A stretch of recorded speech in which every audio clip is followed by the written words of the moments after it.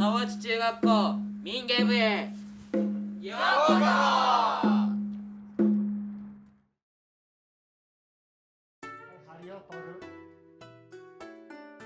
阿波人形浄瑠璃は一体の人形を3人で使い三味線と語りも合わせて演じる伝統文化です。川内中学校民芸部は1982年に創設されました。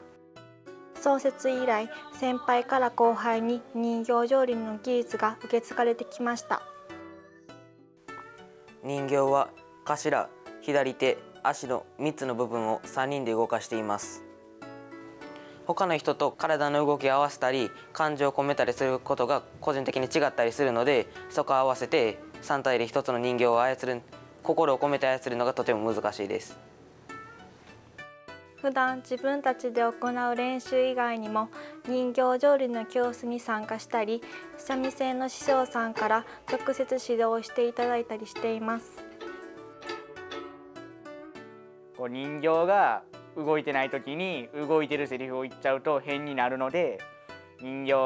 の動きを見て喋るっていうのがまあ難しいところだなって思います。面白いこと言ってみんなが笑ってくれたりしたらこう幸せになるみたいな。公演が終わって見よった人から「面白かったよ」とか「よかったよ」って言われたらやりがいを感じます。三味線の面白いところは少し時間が経つと音が変わってしまうところです。とても繊細な楽器なのでとても扱いには苦労しますがその分とても楽しいことがあったり面白い部分があります。難しいところは思ったより手が動かないのと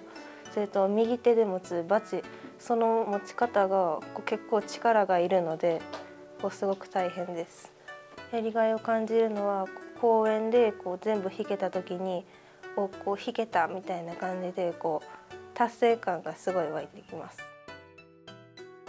練習の時はみんな真剣ですが練習が終わるとみんなとっても仲良しです。これからもこのチームワークで後輩たちにバトンをつないでいきたいと思います。今後何十年何百年と後世の人に伝承していけたらなと思っています。